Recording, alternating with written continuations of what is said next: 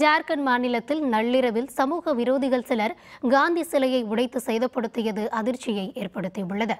ஜார்க்கண்ட் மாநிலம் ஹசாரிபாக் என்ற இடத்தில் உள்ள காந்தி சிலையை நேற்று முன்தினம் நள்ளிரவில் புகுந்த சமூக விரோதிகள் சிலர் உடைத்து சேதப்படுத்தினர்.